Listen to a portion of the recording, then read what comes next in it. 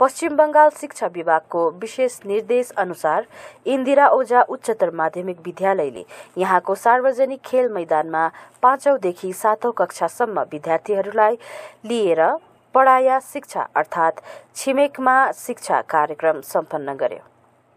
सम्पूर्ण रूपले covid protocol पालन गरिएको उक्त कार्यक्रममा प्रधानाध्यापक विकास शर्माले छिमेकमा शिक्षा प्रकल्पको महत्वबारे प्रकाश पारे। सहशिक्षक एलके प्रधानले वर्तमान शिक्षा र अनुशासनबारे विद्यार्थीहरूलाई जानकारी गराए। छौँ।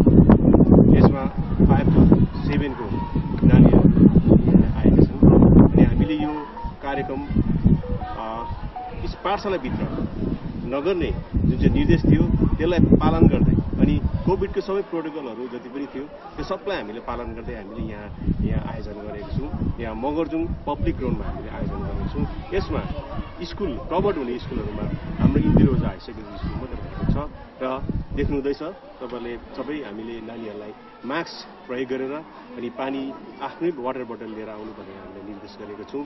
र विशेष यो जुन चाहिँ एउटा छिमेकमा शिक्षालय भन्ने जुन चाहिँ सरकारद्वारा जुन चाहिँ आयोजना गरेको छ र यसमा हामीलाई लाग्छ यो एकदमै उत्कृष्ट एउटा स्टेप्स हो किनभने नानीहरूको जुन चाहिँ फियरको वातावरण थियो नानीहरूमा यो कोभिडको लिएर त्यसलाई यो एउटा एउटा हटाउने एउटा नानीहरूलाई एउटा खुल्ला इन्भाइरोमेन्टमा कुनै पनि रेस्ट्रिक्सन बिना खुला इन्भाइरोमेन्टमा शिक्षा दिने वातावरणसम्म कम्युनिटीको हेल्प लिएर सबैको हेल्प लिएर सबै इन्टिग्रेटेड जुन चाहिँ भएर हामीले जुन चाहिँ शिक्षा नानीहरूलाई दिनुपर्छ।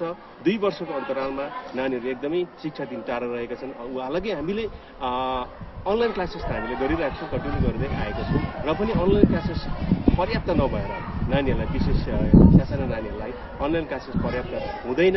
अनि अनलाइन क्लासेस पर्याप्त हुँदैन भनेर हामीले जुन चाहिँ एउटा भौतिक एउटा फिजिकल क्लासेस गराउने सरकारद्वारा जुन चाहिँ यहाँ निर्देश भएको छ यसलाई हामीले पालन गर्दै आज फाइभ टु सेभेनको नानीहरूलाई हामीले यहाँ बोलाएर यो कार्यक्रम हामीले आयोजन गरेको छौँ आज पन्ध्र फेब्रुअरीदेखि यस ओझा उच्चतर माध्यमिक विद्यालयमा फाइभ सिक्स र सेभेनको यो जुन चाहिँ परे शिक्षालय सुरु हुँदैछ। र यो परे शिक्षालय भनेको चाहिँ आज तिमीहरू यहाँ हामीले ओपन ग्राउन्डमा तिमीहरूलाई पढाइरहेको छौँ।